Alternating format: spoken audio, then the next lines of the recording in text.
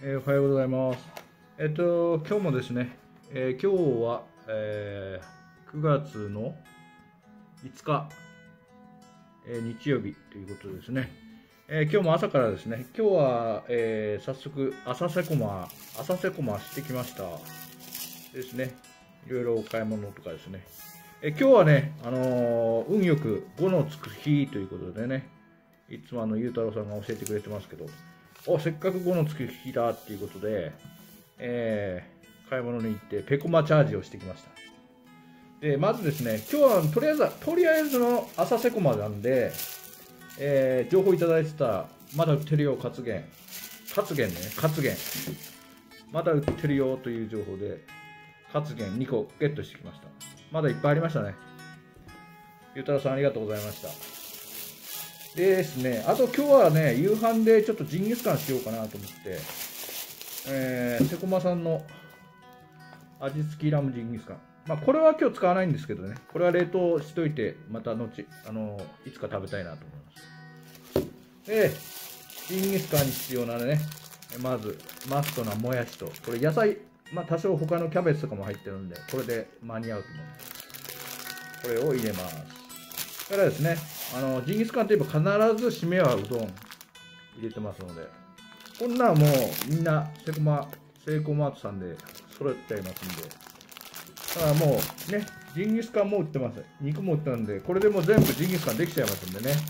皆さんもよろしければセイコマートさんでジンギスカンを買ってきてください。ですね、あの1万円チャージしたということですね。で、なんかあの景品がもらえるっていうんで、で、多分5000円でももらえるんですけど、1万円チャージしたんで、2つ、で、どれがいいですか？って言われて、ちょっとじっくり選んでる暇もなかったですけど、じゃあコーヒーということで、コーヒー2つゲットしました。京極の名水使ってますね、これね。これ、スーさん、スーさんがおっしゃってたんでしたっけね？誰だどなたでしたっけね？CTK6 歳さんだったかな？なんか京極の名水はコーヒーに合うよ。ちょっとそれがよぎったんでコーヒーを。ということで、それでですね、あのーいろいろ、あのーゆうたろうさん情報の話なんかで店員さんとも盛り上がりまして、いつも皆さん載せていただいてありがとうございます。ということでね。で、えー、っと、今日はね、また昼セコマに行くんですけども、えー新発売になったささみカツ丼がね、まだ朝、あのーえーホットシェフでできてなかったんで、店員さんに、あの